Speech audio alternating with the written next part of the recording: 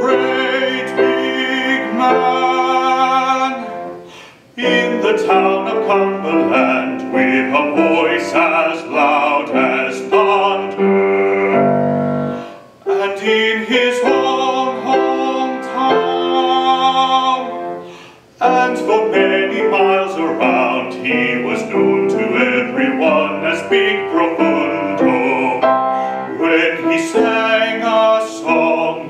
His voice was big and strong, it was full of sympathy. And of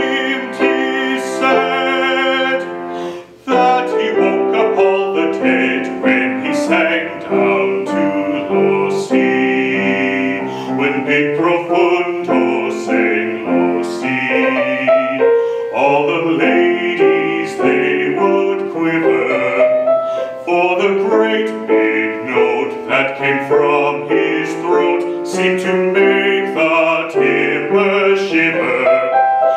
He could make you cry, he could make you sigh with simple melody. For he sang with a will and your heart stood still. When big profundo